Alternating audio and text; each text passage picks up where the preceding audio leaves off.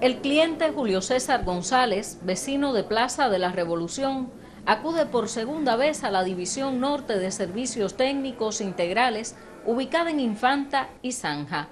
Primero su televisor no se veía bien por una mala instalación de la antena inapropiada para la recepción de la señal digital. Luego la imagen salía a media pantalla por una inadecuada configuración de la caja decodificadora.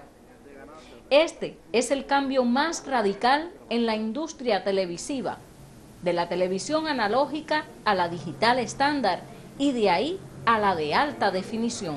La propagación de lo que será a la postre un apagón analógico comenzó por La Habana en el año 2013, cuando de modo experimental otorgaron en algunos barrios cajas decodificadoras Haier por valor de 7 pesos cubanos, para las que hoy, en los talleres de electrodomésticos de Copextel, no se encuentran piezas. Estamos los cubanos cultural y económicamente preparados para digitalizar nuestra televisión en el hogar.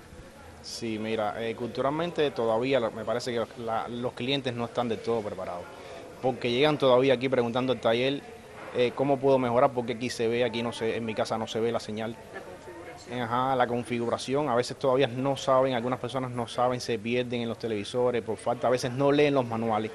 Y bueno, hablando ya de dinero, económicamente creo que todavía no estamos preparados en el país para asumir la, compra de la televisión digital porque estamos hablando de que una cajita de televisión digital cuesta 50 CUC aproximadamente y eh, a veces es difícil para la población llegar a ese valor a comprar esa cajita porque requiere... Máxima que si se rompe la placa y vengo al taller, ¿cuánto costaría arreglar la placa? Sí, tenemos por ejemplo varios tipos de cajitas. La, la cajita de resolución estándar que vencido tiempo de garantía, estamos hablando de ese tiempo de garantía que es un año, vencido este tiempo de garantía, eh, una cajita de resolución estándar te cuesta aproximadamente 30 CUC la reparación y la de alta definición 35 y nosotros damos por esa reparación un mes de garantía.